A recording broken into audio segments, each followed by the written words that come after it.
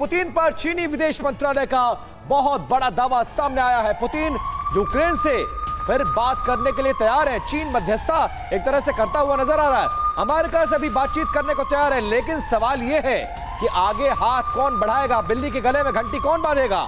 और अगर बातचीत नहीं होती है तो यह युद्ध कब तक चलेगा? कब तक ऐसे जान माल का नुकसान होता रहेगा? दोनों देश आमने सामने हैं और फ़िलहाल कोई भी घुटने टेकते हुए नज़र नहीं आ रहा है। लेकिन चीन के हवाले से यह खबर कि पुतिन बातचीत के लिए तैयार है, न सिर्फ़ यूक्रेन, बल्कि वर्ल्ड पावर अमेरिका वो अमेरिका जिसकी बदौलत अभी भी यूक्रेन इस युद्ध में बना हुआ है। राठौर सर, चीन की तरफ़ से यह पेशकश कि पुतिन बहुत बात करना चाहते हैं, लेकिन सवाल वही है कि घंटी कौन बांधेगा, आगे कौन बढ़ेगा, और जो आगे बढ़ेगा उस पर माना जाएगा कि वो कमज़ोर है तो ऐसे में बातचीत होगी तो होगी कैसे?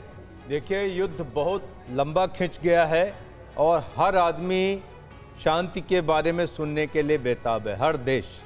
इसमें चीन की अगर पहल है कि वो पीस मेकर बनना चाहता है तो इसका स्वागत करना चाहिए नहीं लेकिन दोनों देशों में आगे पहले कौन बढ़ेगा? आगे बढ़ने की बातचीत के लिए पेशकश करेगा? आपकी बात सही है क्योंकि यूक्रेन बढ़ना नहीं चाहेगा रूस भी बढ़ना नहीं चाहेगा क्योंकि दोनों के लिए शर्तें गलत। हैं। उन शर्तों को रखते हुए भी अगर कोई एक बीच का रास्ता निकाला जा सके जहाँ पुतिन और जेलेंस्की बैठकर बात करें तो ये एक अच्छी और सार्थक पहल होगी। नहीं लेकिन शी जिनपिंग को आप शांति का दूत मानते हैं क्या?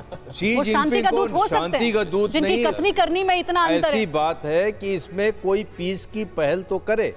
अभी सचदेवा सर सचदेवा सर एक मेरा सवाल आपसे जिस साक्षात्कार हम ज़िक्र कर रहे थे उसी साक्षात्कार में पुतिन की तरफ़ से यह भी बोला गया कि अगर अमेरिका चाहे अगर अमेरिका चाहे तो तुरंत युद्ध खत्म हो सकता है लेकिन अमेरिका का इंटेंशन ऐसा नज़र नहीं आता है। और जेलेंस्की तो ये साफ़ कर चुके हैं कि वो जब तक पुतिन वहाँ पर बैठे हैं सत्ता में तब तक तो बात होगी नहीं। तो इन बयानातों का या चाहे चीनी मध्यस्थ करे चाहे कोई मध्यस्थ करे कैसे इन बयानों का कोई मतलब निकलता है? दो तीन संभावनाएँ हैं। एक तो आपको याद होगा कि जी ट्वेंटी की अगले महीने इंडोनेशिया में मीटिंग है। जिसमें कि पुतिन और जो बाइडेन दोनों कह चुके हैं कि वहाँ पर हो सकता है कि मुलाकात हो। हाँ। अगर और दूसरे नहीं लेकिन सर अमेरिका अमेरिका की तरफ़ से क्लियर किया जा चुका है कि ऐसी फ़िलहाल कोई मुलाकात होने वाली नहीं है जी वो नहीं करने वाले हाँ, हैं। हाँ। लेकिन अगर पुटिन मिलना चाहें तो अब सवाल यही है कि तो क्या कोई ऐसा ग्राउंड तैयार होता हुआ नज़र आता है? इस एस्केलेशन की